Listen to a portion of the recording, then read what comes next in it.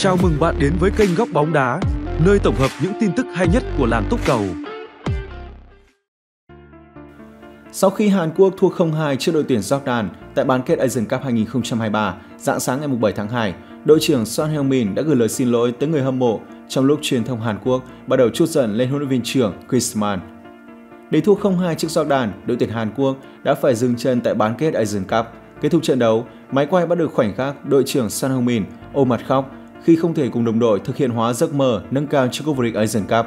Sau trận đấu, khi được hỏi suy nghĩ của mình về trận gặp Jordan, Son đã cúi đầu, im lặng một lúc trước khi nói Tôi thật sự không biết nói gì, tôi xin lỗi những người đã ủng hộ đội bóng. Tất cả chúng tôi đều đã cố gắng hết sức, nhưng chúng tôi thật sự xin lỗi vì những sai lầm của mình dẫn tới kết quả tồi tệ như vậy. Vì chênh lệch múi giờ giữa Qatar và Hàn Quốc, tất cả các trận đấu loại trực tiếp của Hàn Quốc đều bắt đầu muộn hơn. Son cảm ơn những người hâm mộ ở quê nhà vì sự ủng hộ đáng kinh ngạc của họ và nói thêm Tôi vô cùng xin lỗi vì chúng tôi không đáp ứng được sự mong đợi từ người hâm mộ. Tôi sẽ cố gắng hơn nữa với tư cách là một cầu thủ để giúp cho đội tuyển quốc gia của chúng tôi tốt hơn trong thời gian tới. Ngôi sao đang thi đấu cho Tottenham cũng đã bỏ phiếu tín nhiệm cho huấn luyện viên Jurgen Klinsmann, người đang nhận lấy những lời chỉ trích thậm tệ.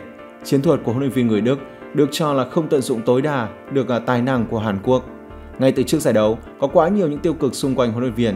Tôi nghĩ ông ấy chắc hẳn phải chịu rất nhiều áp lực Tôi thực sự xin lỗi với cách ông ấy xử lý bản thân trong ờ, một tình huống khó khăn như vậy.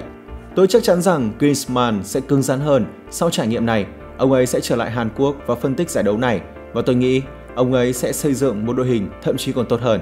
Sau trận thua trước một đội bóng bị đánh giá yếu hơn, huấn luyện viên Griezmann đang đối mặt với những lời chỉ trích đến từ người hâm mộ và truyền thông. Theo nhà báo Kim Dong Hoon viết trên tờ Yonhap News, không có lời báo chữa nào có thể giải thích được cho việc một đội tuyển như Hàn Quốc đang sở hữu những ngôi sao đang thi đấu tại châu Âu lại để thua Jordan, một đội bóng yếu hơn nhiều. Ngoài ra, bài viết trên có nhấn mạnh lối chơi của huấn luyện viên Griezmann là nguồn cơn cho mọi vấn đề.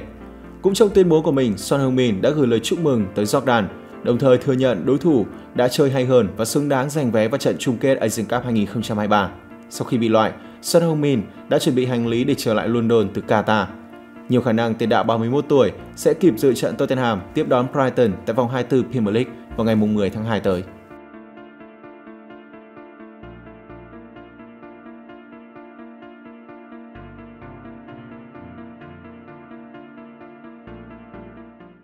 Video được tài trợ bởi FB88